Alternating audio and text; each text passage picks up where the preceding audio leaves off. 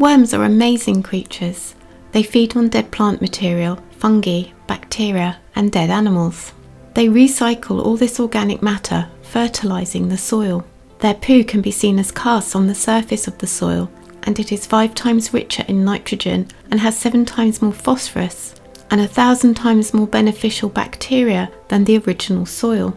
As they burrow through the soil, they leave little channels, thus loosening and mixing the soil, allowing more oxygen to enter the soil and providing space for water to drain away. They also provide food for other animals such as birds, hedgehogs, and frogs. As well as all of this, they can also enhance a process called bioremediation. This is a natural process by which organisms such as bacteria, fungi, worms, and plants remove, reduce, degrade, or immobilize environmental pollutants, converting them to non toxic molecules. It is a very exciting way in which to clean up soil that is contaminated with organic contaminants such as petroleum, crude oil hydrocarbons, and PCBs. It is also a way of removing metals and metalloids such as arsenic, mercury, and lead, and micronutrients such as copper and nickel, which can become toxic if their concentrations become too high.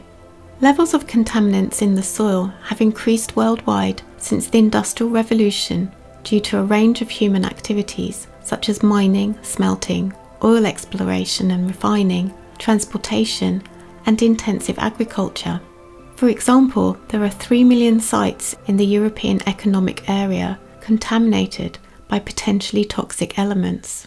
Soil contamination is also on the rise in developing countries such as China and India due to the rapid industrialization and urbanization which has been occurring over the past few decades.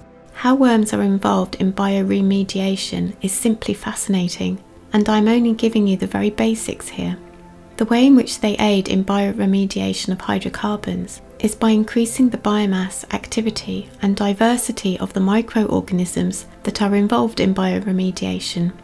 Earthworms mechanically break down soil particles as they ingest and digest the soil which increases the surface area of soil organic matter, exposing more material for the microbes to act upon and consequently increasing contamination degradation.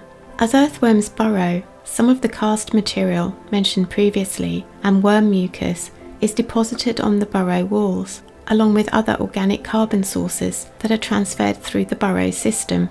These substances are known to promote the increase and distribution of microorganisms in earthworm burrows and so aid in microbioremediation.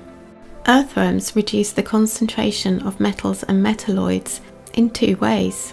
One is by absorption across their surface, and the other is by ingesting soil particles which are contaminated along with their food. These contaminants then accumulate in their tissues. The problem then is what to do with the contaminated worms. The effectiveness of this bioaccumulation is influenced by factors such as temperature and soil moisture, as well as the species of earthworm. So, if you want to clean up a contaminated site, what can you do? Well, you could get your earthworms and place them into the contaminated soil, or place the contaminated soil in with a population of earthworms as part of their feeding regime. Another way is to place the worm casts directly into the contaminated soil. In April this year, a company in the American state of Washington declared that it was ready to deploy millions of worms to remediate brownfield sites. They also have a large volume of what they are calling vermi substrate ready to apply to the soil. Trials are still underway, but the results are encouraging. It is an exciting area of research full of promise that we humans, with the help of the understated earthworm, can put right some of the damage we have done to the environment. If you have enjoyed this video, then please like, subscribe and share with your like-minded friends.